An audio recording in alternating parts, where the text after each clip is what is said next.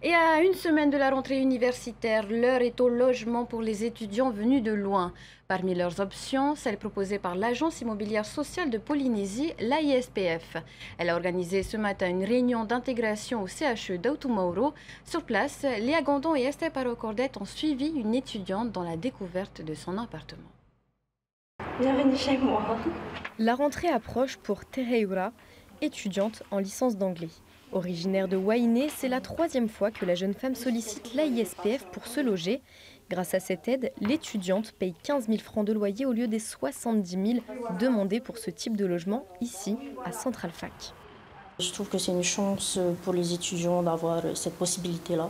C'est vrai que la première année, c'était assez difficile parce que j'avais la bourse, du coup, je devais gérer euh, de l'argent moi-même, euh, je devais prendre euh, ma nourriture, payer mon électricité. Au bout de ma deuxième année, j'ai commencé à comprendre, je me suis dit, ok, non, c'est bon, je sais comment je dois faire, ça, ça, ça. Du coup, ça apprend vraiment à grandir, à être plus autonome. L'agence accompagne depuis 7 ans les étudiants boursiers demandeurs de l'aide, ceux qui n'ont pas eu la chance d'obtenir un logement sur le campus universitaire ou dans les centres d'hébergement pour étudiants de l'OPH.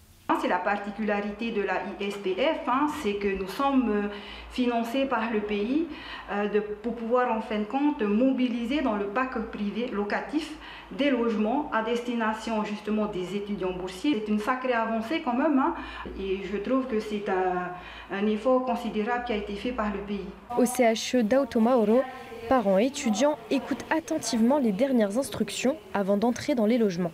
Cette année, ils sont 130 à bénéficier de l'aide, une demande de plus en plus forte.